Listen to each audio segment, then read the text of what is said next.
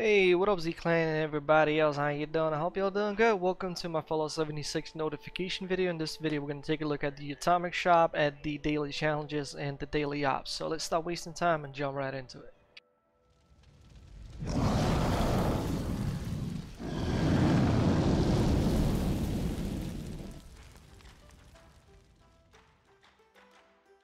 Alright, so let's start with the first topic, which is the Atomic Shop. And today, if you navigate to the uh, last section, which is the special section, and you'll take a look here, uh, we've got uh, the Ink of the World player icon with a 50% discount. And uh, it will cost you 25 atoms. so if you like collecting uh, player icons, I'm not gonna give this one a shot, but I'll pass. Alright, so we got that covered. Let's go ahead and take a look at the challenges. At the challenges, we got buy or sell an item from another player. Simple. Collect caps. Simple. Wait, weren't these yesterday's, man? I oh, know. I didn't. I don't think we had to collect water purifier.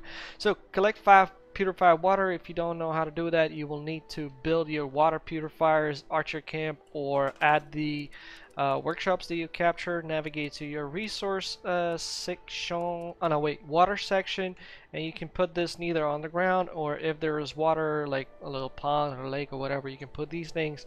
These things generate up to five if I'm not mistaken. This this thing generates up to two, but basically you'll get it done no problemo or buy it from a player vendor. I think that also should work because essentially you obtained it, right? Uh, so yeah, simple to the point. The uh, daily operations that's the daily ops. Everybody does those so essentially you will do it complete an event also pretty straightforward. Goal start complete five daily challenges and you get this completed automatically as soon as you hit five uh, of the daily challenges. Uh, kill a Scorched 15 times level up one time nuclear winter revive a player uh, one time and you'll get it. Get the score? I, I don't know. How many of you are playing nuclear winter? Super curious and lockpick a lock. Alright. Uh, I think, yeah, there is. Uh, there is uh, a safe in this noob location, La uh, Landview Lighthouse. You move up, there's just one house. You go to the second floor of that house. You'll have a terminal to hack or a safe to lockpick. Just lockpick the safe and you're done. So that's pretty much it in regards to the challenges, if I'm not mistaken. Yes, sir, it is. If you don't know how to do something, comment down below. Me or someone else from Z-Clan will be able to hook you up and help you with uh, getting you started with those daily challenges. Or join our Discord and definitely will get immediate help. Alright, uh, by the way, the link is down below in the video description. And now, the final one is Daily Ops. What are we facing today? The Burning Mine! I hate Burning Mine with all my heart. It's like the worst location ever. Especially with Blood Eagles, man. Those paper bags are so very hard to see in that red flaming mine, man. But, okay. Thank God it's not robots. and we got active camouflage, so flamethrower, here I come. I don't know, I feel like this active camouflage mutation is a little bit broken because sometimes I have enemies shooting at me and they just did not appear. They just as if using stealth boy shooting and did not appear. How many of you have faced that problem as well?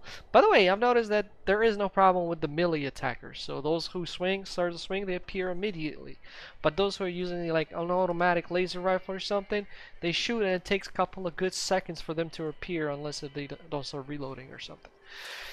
So yeah, that's pretty much it for the daily ops, etc. So I hope you enjoyed the show, and if you did, you know the drill. Don't forget to hit that like, comment down below. Please make sure not to use profanity, as those comments get triggered by YouTube. Nobody see them, I see them, I read them, and I delete them. Have that in mind. So if you want your comments to be read, feel free to leave them without swearing, and uh, people will be able to see your comments and react to them. Me too, by the way. And if you're new and subscribe, welcome to Z Clan. I'm Gamer Z Soul from Ukraine, so hi from Ukraine. If you want to join our community, feel free to do so. The link is down in the video description to our Discord channel. If you don't know what that is, it's sort of an advanced Skype with more features where we can talk about anything, share anything, etc. If you don't know how to use it, I do have a tutorial for you. It's also down in the video description and on our Discord.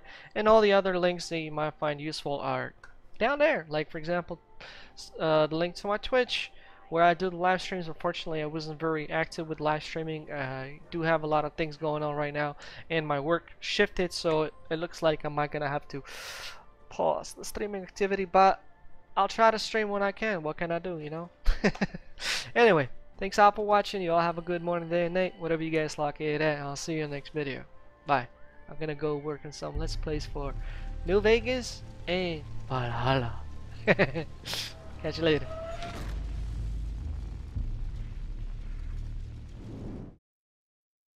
From the ashes we rose.